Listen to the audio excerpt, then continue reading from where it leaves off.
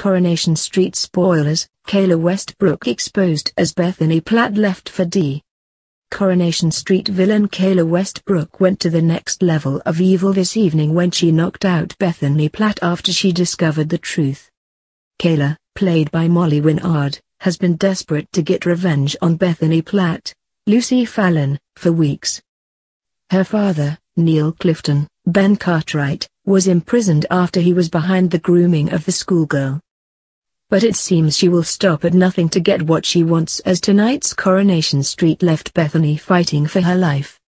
The youngster heads to Kayla's flat to find Craig Tinker, Colson Smith, after working out that she planned a car crash to sabotage his medical test with the police. But when she gets there, she learns the horrifying truth. Kayla and Bethany have an argument and a photo of the former with her evil dad emerges. Bethany stares at the father daughter snap and is completely horrified to be staring at the face of her rapist. But Kayla seemed to lose control of the situation as she grabbed a vase and smashed it over Bethany's head. Poor Bethany fell to the floor unconscious. But will she survive the ordeal unscathed?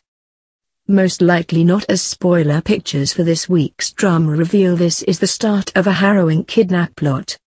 Kayla heads to the hospital where Craig is following their tiny car crash. The Speed Daal waitress will reveal to her boyfriend that she has Bethany tied up.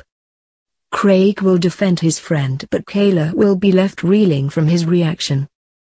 Returning to her home, she will hit Bethany across the face leaving the teen fearing for her life.